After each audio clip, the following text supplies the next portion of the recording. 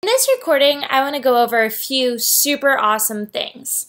The first thing I want to go over with you is where you can find your stuff. So as long as you are signed in, now you need to make sure you're signed in first. You can do that by looking up over here.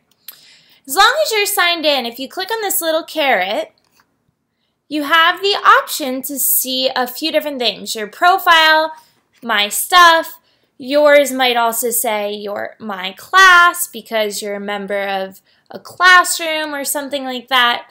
Uh, but you're just going to click on my stuff. And when you click on my stuff, Scratch will take you to your stuff, the things that you've created and worked on in the past.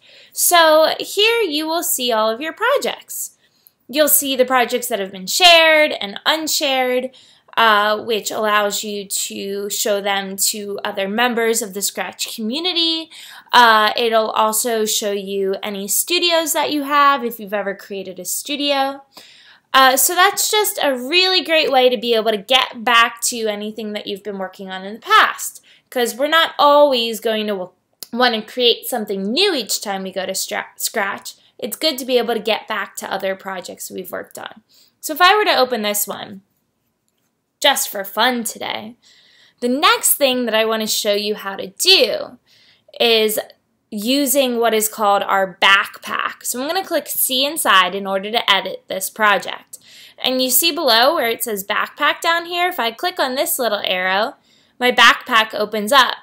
A backpack is super awesome because you are able to write code for one character and then save that code and use it for other things. So no matter how complicated I made this, maybe I did if touching mouse pointer,